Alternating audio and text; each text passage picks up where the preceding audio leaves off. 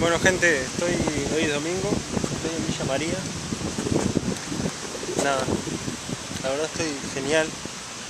Estoy con una pareja, Edgar y, Teresa.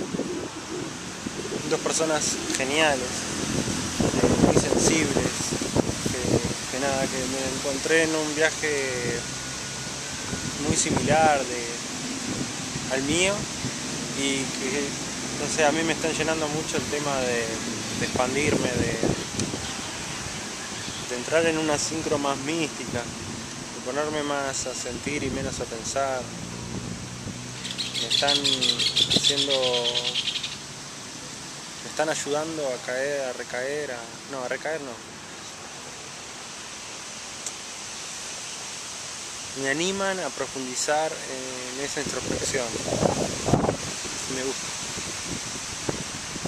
Y nada, siento que los quiero mucho y apenas los conocí. Y me encantaría volver a verlos.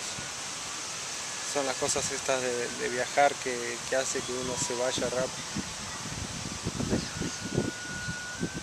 Estoy disfrutando mucho. Eh, vine con la idea de estar poquito en Villa María y estoy disfrutando muchísimo. Y nada, son las primeras personas que sinceramente voy a sentir voy a extrañar un poco.